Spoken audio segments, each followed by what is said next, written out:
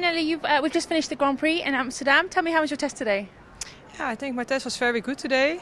Um, the only things that was not that good were my pirouettes. My pirouettes were a little bit too small today. And um, yeah, the rest was very good, I think. Yes, I was very happy with my test. Yeah.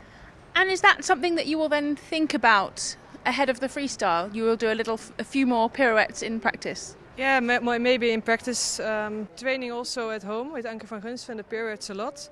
And I think tomorrow in the, in the warming up we train it also. And um, yeah, I hope that I have more control in the freestyle tomorrow. And tell me, a Dutch rider in Amsterdam, this is a good weekend for you?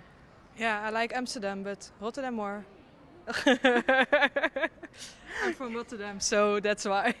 that's allowed then. Yeah. it must be nice though to have the crowd here yeah. cheering and speaking in your language. Yeah, yeah, it's it's amazing here. It's very nice and uh, um, uh, yeah, it's a, it's a nice competition here. Yeah. And tell me a little bit about the arena for your horse. Is it a good arena to ride in? Yeah, but I think it's a little bit loudy because the uh, and the lights were um, yeah shiny. Do you say it in English? So, um, but Siro is always quiet and uh, it's, a, yeah, it's a very good horse and he looks to nothing around him. So yeah, I had no problems with it today. And so you look forward to the freestyle tomorrow? Yeah, I like my freestyle. I love it, yeah. Great, thank you so much. Good luck. Yes, well, you're welcome. thank you.